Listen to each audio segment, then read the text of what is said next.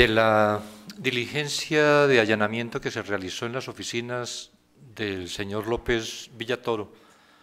como lo señaló la señora fiscal general, se obtuvo abundante documentación que se examinó además de eh, ingresos a estas oficinas. Y con todo esto es que podemos hacer una eh, reconstrucción parcial. Encontramos, por ejemplo, que del 29 de abril al 12 de mayo del 2014, varios candidatos a magistrados de Corte Suprema de Justicia y Cortes de Apelaciones y tres diputados del Congreso de la República visitaron lobby y asociados el 26 de mayo, día en el que fueron electos los representantes de los magistrados de la Corte de Apelaciones para integrar la comisión de postulación de la Corte Suprema de Justicia, se registraron visitas a las oficinas de López Villatoro, del señor José Antonio Pineda Varales, quien fue postulado y posteriormente elegido como magistrado de la Corte Suprema de Justicia. Lo mismo que Héctor José Monterrosa, Monterroso Hernández, quien fue postulado también a la Corte Suprema de Justicia, y Ronald Estuardo Arango Ordóñez, diputado del Congreso de la República. El 20 de junio se del 2014 se reunieron simultáneamente en las oficinas del lobby el comisionado electo Orellana Donis y la postulada y posteriormente electa magistrada de la Corte Suprema de Justicia, la doctora Vitalina Orellana y Orellana, reunión de estos dos con el señor López Villatoro. Después de iniciadas las sesiones de la Comisión de Postulación, eh, que fue juramentada el 2 de julio del 2014 por el presidente del Congreso de la República, los ingresos a las oficinas de López Villatoro se incrementaron. Figuran nombres y apellidos de personas que concuerdan con integrantes de la Comisión de Postulación de la Corte Suprema de Justicia y Corte de Apelaciones, postulados a estas mismas corporaciones y diputados que participarían en la elección de magistrados en septiembre del 2014. Nueve integrantes de la Comisión de Postulación de la Corte Suprema de Justicia, es decir, el 27% de los comisionados integrantes de esa comisión de postulación, que aparecen sus nombres en la pantalla. Lo mismo que tres integrantes de la Comisión de Postulación de la Corte de Apelaciones, siete diputados del Congreso de la República que participaron en la votación para elegir magistrados tanto de la Corte Suprema de Justicia como de Corte de Apelaciones, 24 postulados a la Corte Suprema de Justicia o a la Corte de Apelaciones que no resultaron elegidos, siete postulados que posteriormente resultaron elegidos como magistrados de la Corte Suprema de Justicia, de ellos cuatro titulares, tres suplentes, catorce postulados que posteriormente resultaron elegidos como magistrados de las Cortes de Apelaciones, incluido el propio eh, Giovanni Orellana Donis. De los postulados para magistrados a la Corte Suprema que coinciden con los registros de ingreso en el libro de visitas. Siete, como acabo de mencionar, resultaron incorporados a la nómina de candidatos y de estos siete, cuatro fueron elegidos como titulares los doctores Néstor Mauricio Vázquez Pimentel, José Antonio Pineda Varales, Josué Felipe Baquias Baquias y Vitalina Orellana y Orellana, y tres magistrados suplentes, Nidia Violeta Domínguez Sunum, Hugo Calderón Morales y Marco Aurelio Albeño Obando.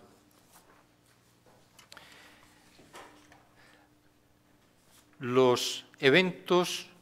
eh, destacados en las actividades de esta comisión de postulación en el 2014. El 26 de mayo se eligen representantes del Instituto de Magistrados de la Corte de Apelaciones. Esas elecciones se realizaron en la sala de vistas de la Corte Suprema de Justicia para elegir a los representantes del gremio que integrarían la comisión de postulación para seleccionar la nómina de 26 candidatos a Corte Suprema de Justicia. Como integrantes de la planilla 1 fueron electos Carlos Rodimiro Lucero Paz, quien era magistrado vocal 1 de la Sala Regional Mixta de la Corte de Apelaciones de Quetzaltenango, Marvin Eduardo Herrera Solares, magistrado vocal de la Sala Regional Mixta de la Corte de Apelaciones de Petén, y Edi Giovanni Orellana Donis, magistrado vocal de la Sala Segunda de la Corte de Apelaciones del Ramo Civil y Mercantil. A partir de la elección y cuando se obtiene la calidad de comisionado, se ya se asume la representación de los magistrados, como igual ocurre con los abogados elegidos por el Colegio de Abogados y Notarios de Guatemala. Y aquí se añade, de una vez para anticipar, una función pública que ejerce específicamente el comisionado. Por eso también respecto de abogados sin desempeñar eh, un cargo público, sin embargo, por el hecho de integrar una comisión de postulación que está constitucionalmente prevista para ejercer la función pública de selección de candidatos que se presentan ante el Congreso de la República para su elección, estas personas, por el ejercicio de función pública, pueden cometer delitos propios de los servidores públicos, que es lo que, como veremos, pudo ocurrir. Eh, decía que ejercieron entonces función pública en el sentido de hacer la evaluación de los expedientes y votar la integración de la planilla. El día de las elecciones, en horas de la noche, el señor López Villatoro pagó un evento para agasajar al magistrado electo para las comisiones de postulación. Se pudieron encontrar facturas de consumo emitidas por la Hacienda de los Sánchez, mediante las cuales se especifica la cantidad de alimentos consumidos el 26 de mayo del 2014.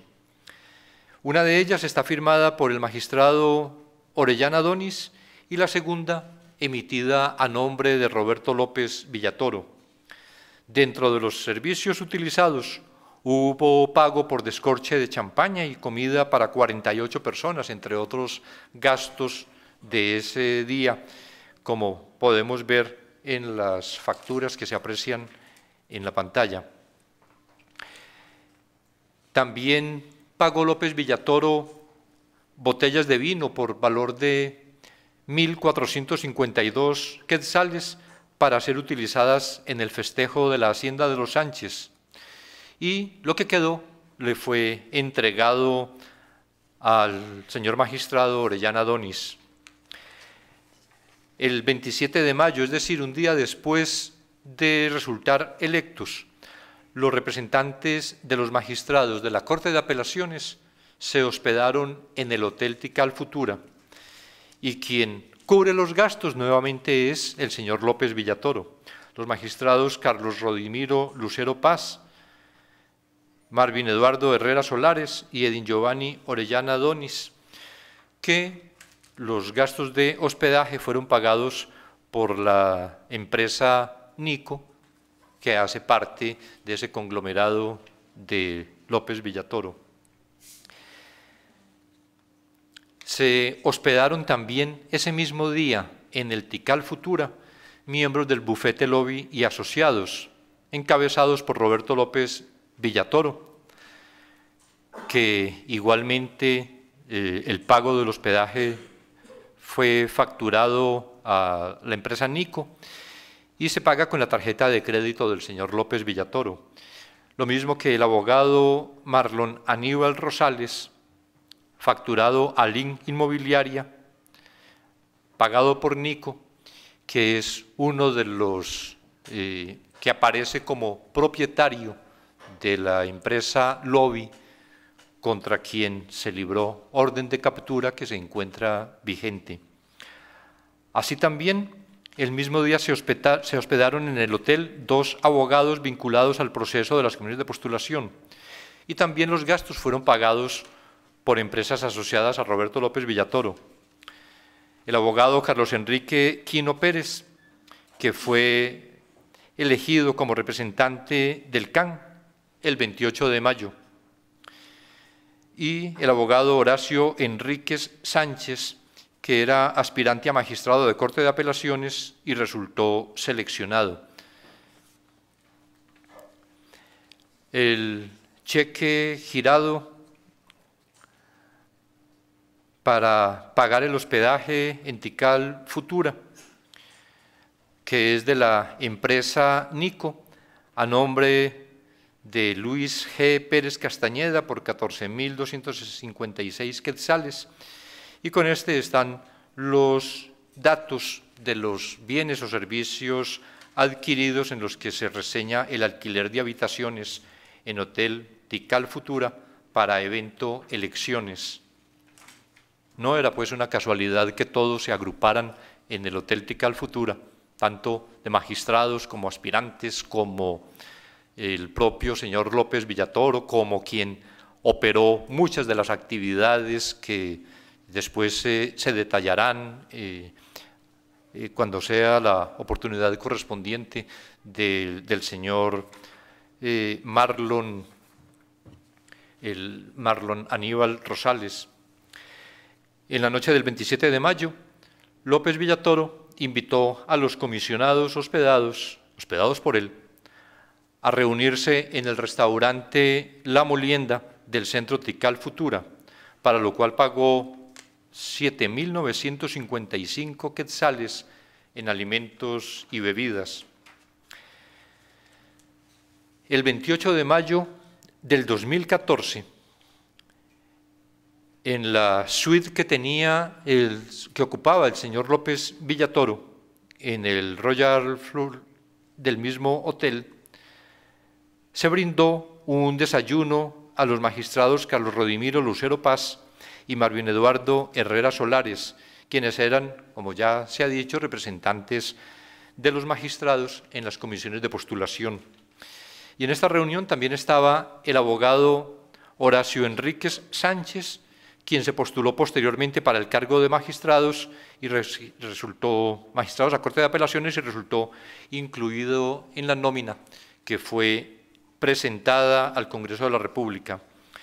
El pago fue realizado con tarjeta de crédito emitida por Banrural a nombre de Sergio Roberto López Villatoro y facturado, como en los otros casos mencionados, a la empresa Nico S.A. el 28 de mayo del 2014. Está la descripción de los gastos eh, incurridos en, en Tical Futura. Y ya para el 19 de septiembre del 2014 se encuentra que miembros de las postuladoras se hospedaron también en el hotel Clarion Suites. Durante los allanamientos a la oficina de López Villatoro se encontró un estado de cuenta que evidenciaba el alojamiento en ese hotel de varios comisionados por los días 19 y 20 de septiembre. Los gastos fueron facturados a nombre de Nico S.A. por 145 mil quetzales y esto incluía alojamientos, salones, alimentos y bebidas. La cantidad pagada al hotel provino de diferentes fuentes, pero se ha precisado que todas están asociadas a Roberto López Villatoro. Los comisionados que se hospedaron fueron los magistrados Edi Giovanni Orellana, Marvin Eduardo Herrera y la abogada Emma Patricia Guillermo de León de Chea. El 20 de septiembre se reservaron los hoteles Ámbar y Granate del mismo hotel Clarion Suites para la celebración de una reunión privada, una reserva que se hizo a nombre de Roberto López Villatoro. Se iniciaron las reuniones a las 8 de la mañana y terminaron, según lo que pudimos constatar en los registros del hotel, a las 2 de la mañana del día siguiente. Durante la actividad se sirvieron desayunos, almuerzos, cenas, bebidas alcohólicas tal como aparece en la factura que a continuación se, se exhibe. Otro documento encontrado en los allanamientos registra nombres de candidatos a magistrados de la Corte Suprema de Justicia. Tiene el logotipo del hotel donde se encontraban eh, reunidos como les mencionaba, 19-20 de septiembre, y una lista a mano de personas que coinciden con candidatos postulados o elegidos para integrar la Corte Suprema de Justicia. se encuentra quienes, los magistrados titulares eh, con el círculo o el óvalo rojo y quienes como suplentes eh, fueron elegidos para la Corte Suprema de Justicia. El 21 de septiembre del 2014, la Comisión de Postulación elige el listado de los 26 candidatos a magistrados para la Corte Suprema de Justicia en el Paraninfo Universitario. 19-20 las reuniones previas en el Clarion Suites. 21 de septiembre la comisión elige selecciona los 26 candidatos. De todo esto, lo que podemos concluir es que de parte del señor Sergio Roberto López Villatoro hubo una estrategia diseñada para interferir en la voluntad y el poder de decisión de los funcionarios con potestad de elegir a las altas autoridades del Poder Judicial para el periodo 2014-2019, que esto se dio a través de la celebración de distintas reuniones y festejos en los cuales participaron personas claves del proceso de comisiones de postulación con el fin de tomar decisiones fuera del marco de transparencia establecido por la ley para la elección de los magistrados de la Corte Suprema de Justicia. De ahí que hemos denominado el caso comisiones paralelas que funcionan paralelamente a la comisión oficial y allí se hacen acuerdos, se elaboran eh, listados de los posibles eh, aspirantes que se incluirían, etcétera en esas comisiones paralelas. También encontramos la fuerte inversión del abogado López Villatoro a través de sus empresas para que las comisiones de postulación se integraran con la mayor cantidad de comisionados afines a sus intereses. No es necesario, además, tener todos los comisionados basta tener una voz interna negociadora y la posibilidad de sumar, como encontramos, a comisionados elegidos por los magistrados, pero también comisionados elegidos por los abogados, en una confluencia luego para que probablemente al interior de la comisión, probablemente en todas las conversaciones que en las comisiones paralelas se establecían,